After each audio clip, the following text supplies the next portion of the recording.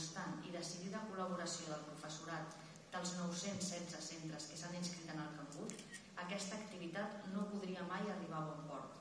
Per aquesta raó hi ha a la mesa la senyora Pura Fornals, professora de l'Institut Francesc Macià de Cornellà de Llobregat i actual presidenta del Museu de Matemàtiques de Catalunya, entitat a la qual manifestem un agraïment ben sincer per l'exposició que totes les persones assistents heu pogut gaudir. Finalment, per tal de posar de manifest que la veritable ànima del cangur és l'alumnat que hi participa, completen la mesa presidencial el senyor Víctor Conchelo Vendrell i el senyor Aitor Josep López Cortés. La Societat Catalana de Matemàtiques té establerta una distinció especial que anomena el PIN de plata per a persones que acaben la seva participació en el cangur en uns resultats globalment molt destacables. Tot i que no es va poder celebrar el cangur 2020, a ells dos els va ser atorgada aquesta distinció. Començarem l'acte amb l'entrega a Aitor Josep López i a Víctor Conchelo del PIN de plata del cangur 2020.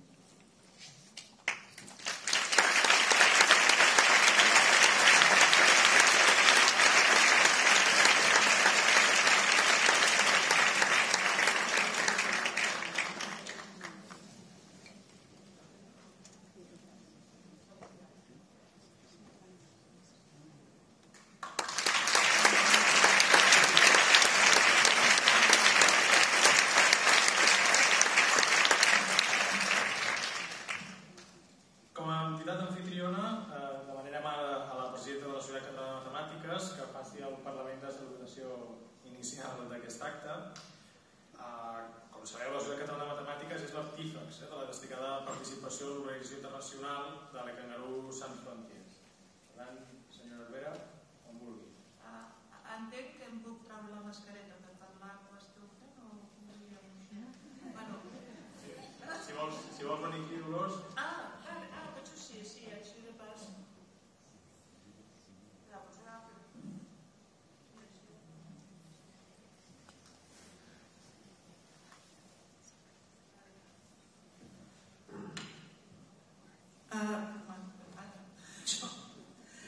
Bueno, benvinguts a, a tots, no? gràcies per ser aquí. És veritablement un plaer poder-vos veure aquí per al lliurament d'actes del 26 Cangur de la Societat Catalana de Matemàtiques. No?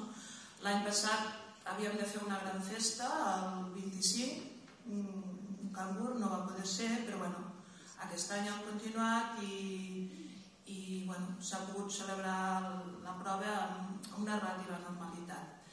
I primer de tot voldria agrair, perquè bé, jo soc la presidenta de la Societat Catalana de Matemàtiques, que és una societat filial de l'Institut d'Estudis Catalans, aquí representat pel seu president, en Joan Domènec Ros.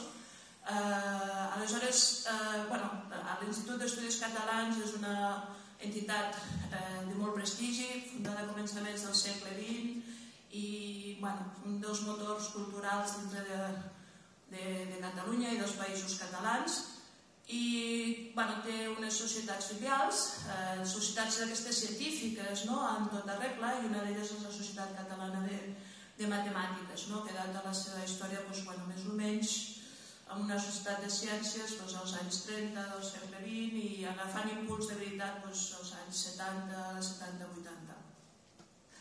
Aleshores, a, a la Societat Catalana de Matemàtiques tenim una gran sort i aquesta gran sort és que tenim un grup que es diu la Comissió Cangur, eh, doncs que fa 26 vegades que organitza aquesta prova Cangur. I la veritat és que els voldria agrair la feina fantàstica que fan, no? que aconsegueixen convocar aquesta vegada eh, bueno, en prova concurs més de 90.000 nois i noies no? que han fet aquesta prova i bueno, amb altres ocasions malgrat les circumstàncies, no? però clar, penseu també que, per exemple, l'any passat es preveien més de 125.000 participants. No? Aleshores, pues, bueno, moltes gràcies per tota la feina que feu i tota la dedicació que hi poseu, eh? perquè fins i tot ja ho heu vist, eh? quan heu entrat no? al compte, fins i tot aquí, perquè tot sortís perfecte dintre l'acte i orientar molt bé a tothom. Eh, moltes gràcies per tota, per tota aquesta feina.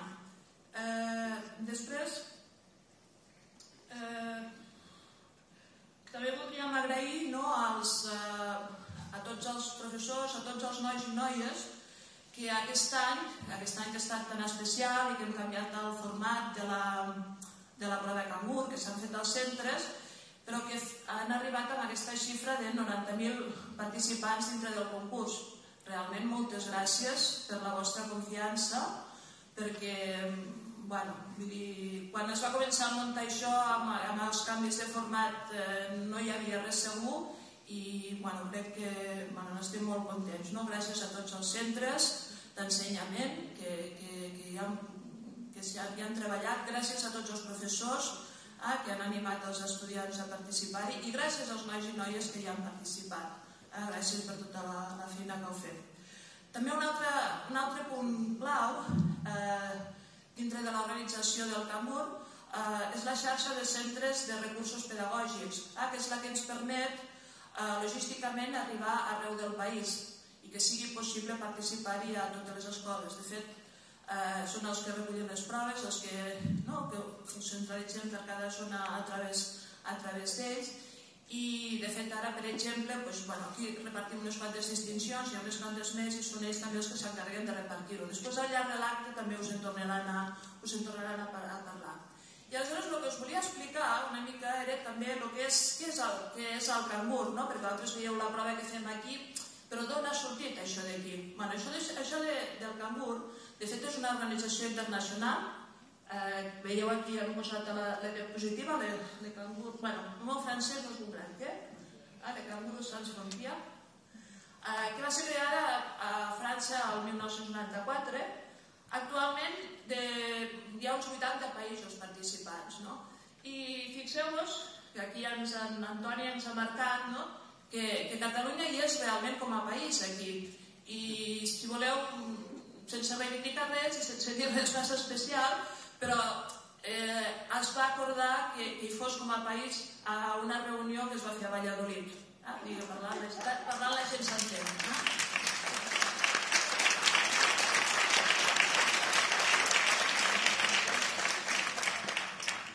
Vale, doncs aquesta, aquesta organització la, bueno, està formada per entusiastes de les matemàtiques, no? entusiastes ensenyants de les matemàtiques d'arreu del món, i bueno, una, el, cada any, de cara a la tardor, aquest any, aquest any vinent esperem que sigui en vers, es fa una reunió on els diferents països, no, les comissions dels diferents països, hi posen les propostes de, les seves propostes de problema. Allà es treballa una setmana a tope, es dissenya el que serà la prova que de l'any que ve i cada país, després, o sigui, els representants de cada país van, van allà al, al seu tornen al seu lloc no? i ho adapten a les circumstàncies de cada lloc. No? I aleshores, doncs així, no? el, que, el resultat és el que vegeu vosaltres. No? Cada tercer, el tercer dijous del mes de març, no? pues sabem que ja ha convocat aquesta hora i quart no? de problemes de la prova de Camur amb tots aquests nivells i, això, i, i bueno, tota aquesta és la feinada que es va fent al, ah, tot és una feina que dura pràcticament tot l'any. Eh? És a dir, ara de fet ja, estem mirant el, el Cangur 27 eh, doncs, perquè s'han de preparar els problemes, s'han de portar idees s'han de fer coses.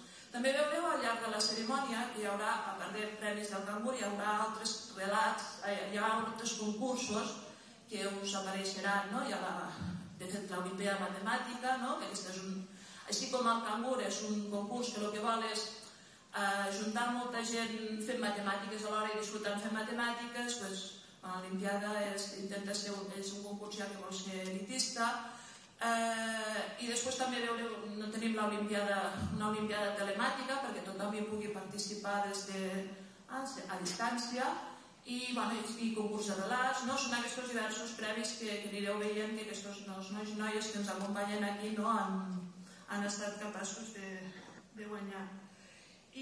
Bueno, us volia dir... Bueno, la idea d'aquestes coses no, i de la prova de Cambur és realment eh, és molt simple, no? és transmetre pues, el goig de fer matemàtiques eh, amb uns plantejament de problemes fora del currículum, però plantejaments de problemes molt ben meditats, normalment fins i tot potser t'expliquen una història, eh, t'ensenyen a fer un raonament, has de fer... No? És pensar, simplement pensar matemàtiques. No? Els, els que estem posats en aquest món eh, és, és, és el que ens agrada sobretot ensenyar, no? més que les qüestions algorítmiques i tal, no? que sembla que siguin vegades potser massa... omplen molt els, molt els currículums. Uh, fins i tot, si voleu, clar, el que és la prova de cangur és una cosa que dura una hora i quart, no? i hi ha molts problemes i un balla molt de pressa per acabar i tal, però el tipus d'enunciats eh, pot ser fins i tot recomanable després fora del cangur, si